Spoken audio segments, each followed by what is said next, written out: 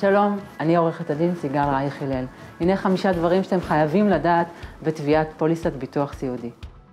רוב הפוליסות מדברות על שלושה מתוך שישה חסרים תפקודיים, הלבשה, רחצה, אכילה, אי שליטה, מעברים וניידות, או שאני עונה להגדרת תשישות נפש, אלצהיימר או דמנציה. רוב האנשים בכלל לא יודעים אם יש להם ביטוח סיעודי.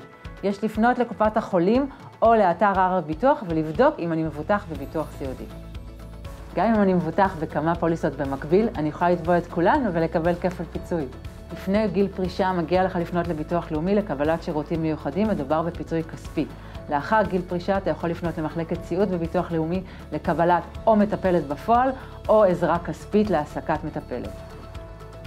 חברות הביטוח דוחות הרבה תביעות. מגיע לכם כסף. קנו לעורך דין.